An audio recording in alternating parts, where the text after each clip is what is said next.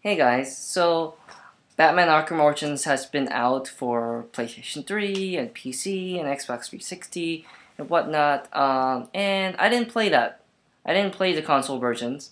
I noticed on the App Store there's a free-to-play Batman Arkham Origins game on the Apple Store, so I'm just like, I want to check this out, and uh, I looked at the screenshot and was like, this looks pretty pretty cool. I wonder like how they made this for the iPad. It's not the same experience as the console versions. And um, it's interesting because NetherRealm Studios, you know, the makers behind Mortal Kombat uh, and Injustice Gods Among Us, they made this game. So was it like, or, or maybe they're on the credits. I don't know if they made the game, but they're on the credits of the of the logo of the game. I was like, all right, let's check this out. And uh, so the, the game concept overall, it's like it's like a, a you know, if you played Infinity Blade or any game like it, you know, if you played, what is it, Gore or some kind of Blade, but there's a lot of these kind of games on the mobile market, on the tablet market, on, on the phone market. Batman Arkham is, is kind of running along the same lines, except there are some differentiating factors behind it. It uses Unreal Engine 3, like Infinity Blade, um, so there's that similarity. It looks really similar, pretty much like the the Arkham games on the consoles. You know, Batman Arkham Asylum, Arkham Origins, same graphical style, um, and fidelity is looks pretty amazing. Although I think the art style is not as wowza um, when I'm playing like this way on the tablet. Like when I'm moving around as Batman, like the dark, eerie, gothic style or the uh, the art, the visual art style. I think for me, the art style was really effective with the first game, you know, Arkham Asylum. Arkham City kind of uh, not as much. It wasn't as visually enticing to me. Um, although Arkham City is a pretty fun game, I just preferred like the the whole overall look and feel and the vibe of Asylum. The vibe and feel doesn't really resonate with me for this um, I tablet game. I'll call it that. It's a it's a tablet free to play game. And for like the first 20 minutes or first 30 minutes or so, the the free to play, like it's enjoyable. And then the difficulty ramps up ridiculously. Um, so like the only way to get through the difficulty is to buy a new Batman suit. And the, the suits really increase your hit points. So there's all these suits that you could buy. You earn money by defeating enemies, of course, and defeating missions um, or completing missions is you want the only way to get money. And the free-to-play nature of it also has a time gate. So you have a stamina bar. Each time you select a mission, you know, you spend stamina. Um, and then it recharges over time. I think it takes about five minutes for it to fill up one bar. And it usually takes two bars to go into a mission and start a mission. So that's the time gate feature. You have to wait to fill up, or you can use real money to buy in-game currency that would recharge or to recharge your stamina bar. You know, that's how they try to get money out of you.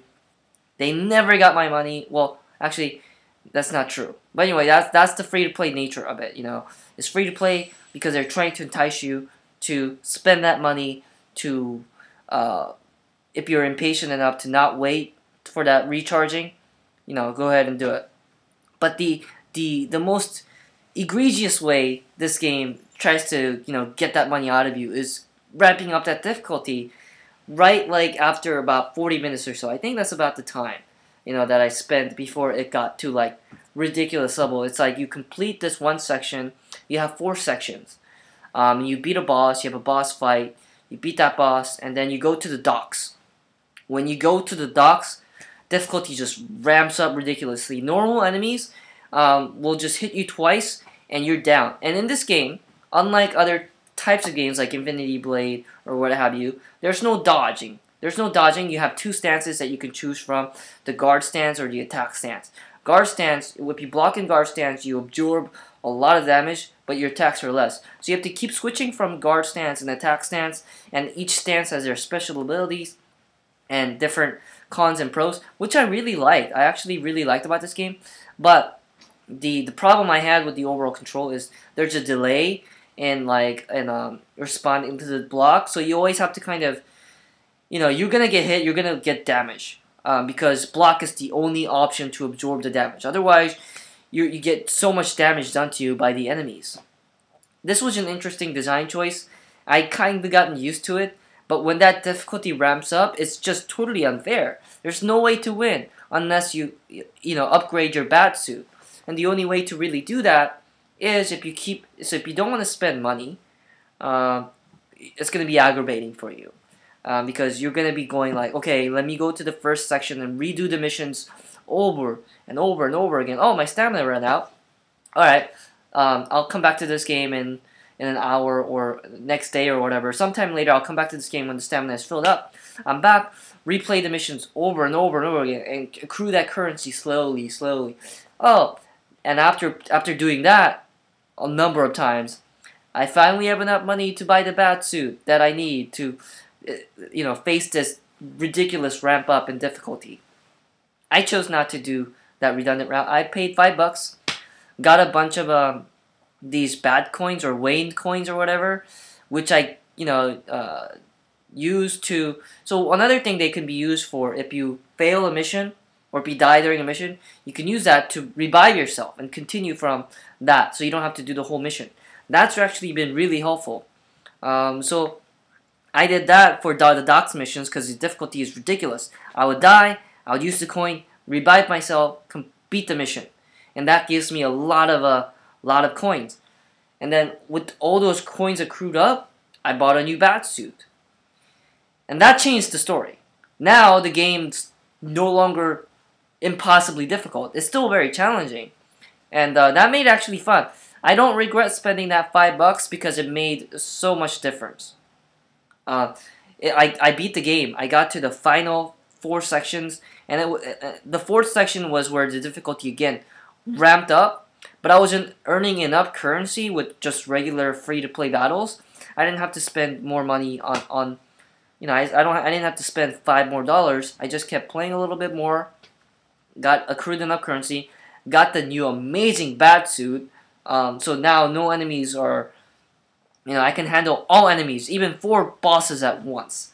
It was craziness. Um, and each boss had their own special little abilities, which is interesting but kind of annoying because you have to like swipe the screen like that or like tap the screen really hard. Really kind of annoying, but overall, not a bad addition, uh, a rendition of the uh, you know Batman Arkham Origins onto the tablet. It's kind of weird because it's like a two-player fighting game on the side with like touch gestures and motions um, and timing. It's not a bad concept. It, but it, it, this concept could have been applied to any other thing. You know, the fact that it's a Batman game is just using the license. This could have been for like brand new characters of a brand new IP. So in a way, it is just kind of a cash in. It's like, oh, it's a Batman game, but we're gonna just shoehorn this like gimmicky concept onto it which is actually pretty interesting and not too bad. It's, you know, uh, the time gate issue, the whole free to play market for this, um, it's the same as it with any EA uh, free to play games. One or or you know, it, I think I don't think this is an EA game, but whatever. Like EA does the same thing, or Ubisoft does the same thing with this free to play games. Any free to play games kind of does it similar way with the time gate and with the ramping up difficulty and making you use currency uh, that will help you win. Um, one thing I will say that I really just frustrates me to no end is how like the pricing is always structured on these things.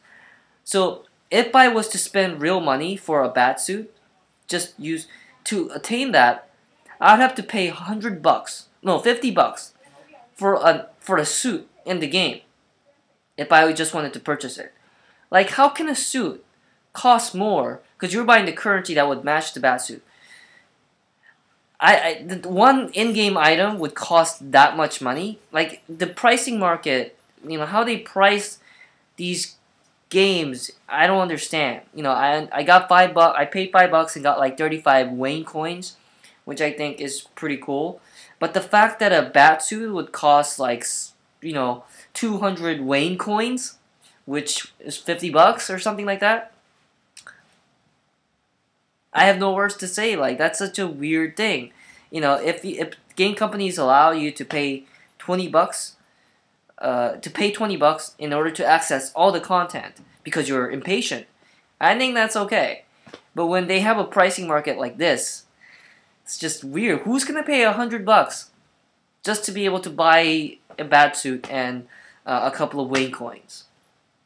I, I know there are people out there, but like, the, you know, you're feeding off of that kind of people with no impulse control, and that's that's kind of unethical. I think companies might may actually make much more money if they had the the pricing markets for these fees much more reasonable. I don't know, thirty bucks to be able to access all content of the game sounds pretty reasonable to me. Although thirty bucks is pushing it, I would say fifteen dollars.